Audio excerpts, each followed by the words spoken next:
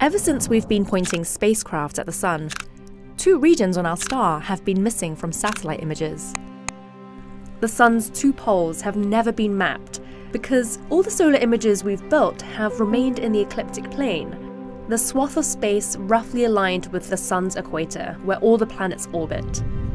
A new mission from the European Space Agency and NASA called Solar Orbiter aims to escape this plane and take the very first images of the poles. The planets are all moving and circling the sun, and so we already have some velocity going one way. If we want to launch up out of the ecliptic, it requires more energy. To get outside the ecliptic plane, Solar Orbiter uses Earth's and Venus's gravity to slingshot itself into a view of the poles.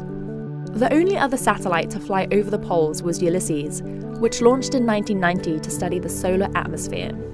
But Solar Orbiter will be the first mission to capture actual images of this hard to reach region. Scientists think the poles could be the missing piece to understanding what drives the Sun's activity.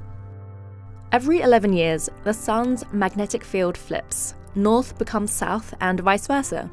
This mysterious process has direct effects on Earth. Before the poles flip, solar activity reaches its peak, the number of eruptions increases, sending powerful bursts of solar material that can potentially harm our astronauts and satellites. We don't really have a good understanding of the global solar behavior. Another one of the mission's goals is to monitor how these eruptions and solar material travel through space.